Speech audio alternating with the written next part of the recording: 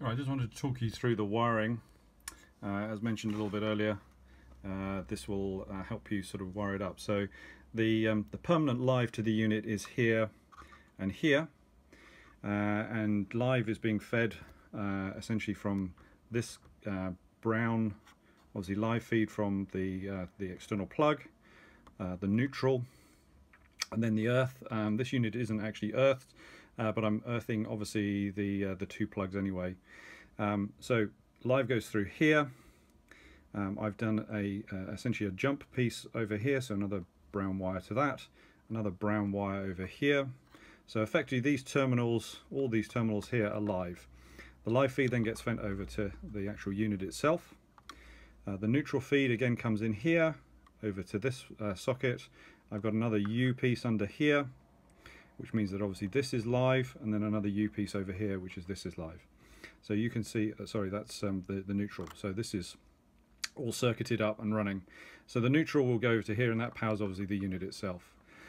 Uh, there's a brown lead coming from here uh, and the brown lead from here is fed to one side of the heating element and then the other brown side goes off obviously to the plug and to complete the circuit I go over to neutral over here uh, which is being fed from neutral from the main socket.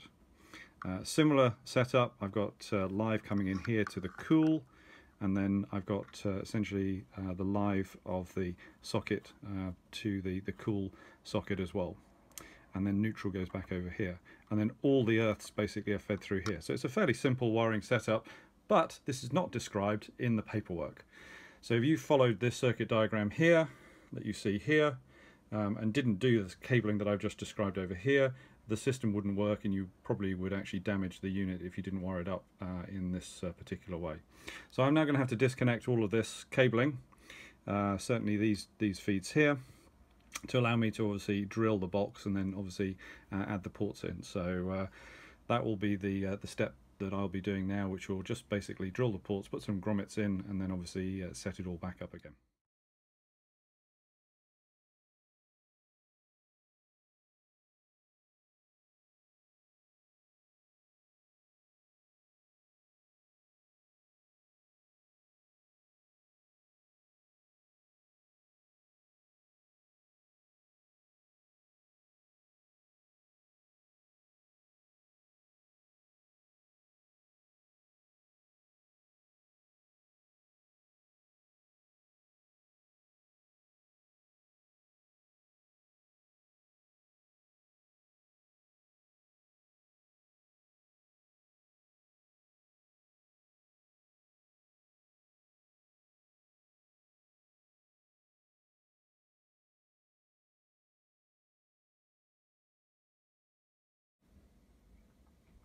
So I've now placed it in its box.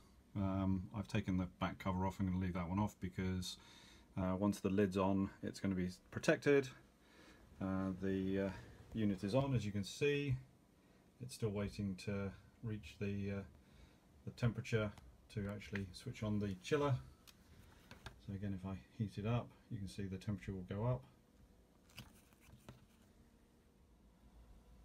So I've showed you it's on the chill cycle um, what I'm going to do now is I'm going to drop the sensor into uh, some ice cubes hopefully.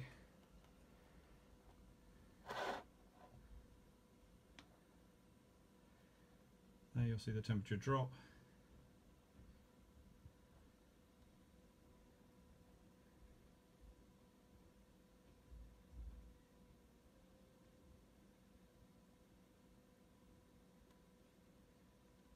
hopefully drop from the cooling cycle into the heat cycle.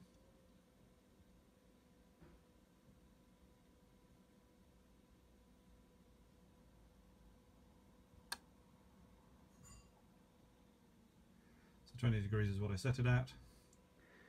I've given it about a one degree fluctuation, I think.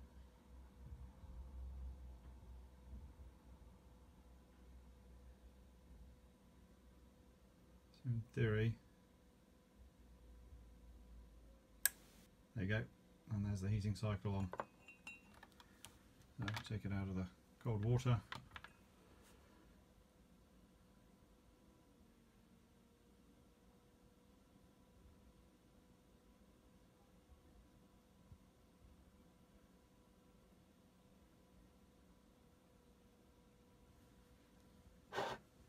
We're not